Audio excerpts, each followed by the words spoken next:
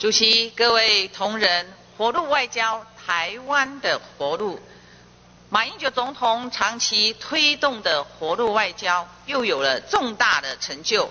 总统伉俪于日前代表中华民国出席教宗方济的就职弥撒，并且亲自向教宗致祝贺之意。这是中华民国自一九七一年退出联合国以来最关关键性的外交突破。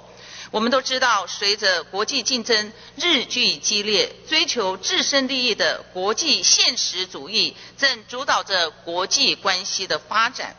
总统能够在重重的外交压力之下亲临教宗的就职弥撒，显示中梵关系在常年经营之下累积出足以承载中华民国总统出席大典的深厚情谊。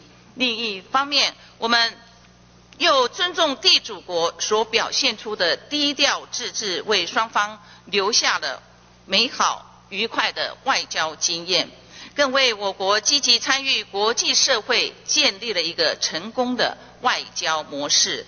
马总统强调，外交是常年的累积，没有奇迹。而在活路外交的理念里面，就是希望。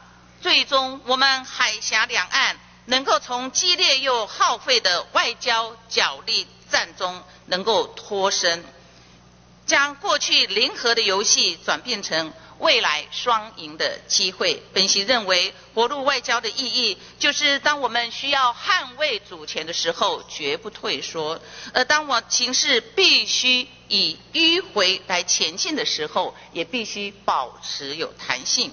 台湾。推动活路外交，台湾才会有活路。台湾必须走出去，就像这一次中华的这个呃棒球队参与经典赛中集体奋战，为我们赢得国际社会的尊敬。我们必须发挥全体国人的智慧、勇气与团队合作，为台湾找出路，为国家共同来奋斗。让我们一起来为台湾加油，为马总统加油。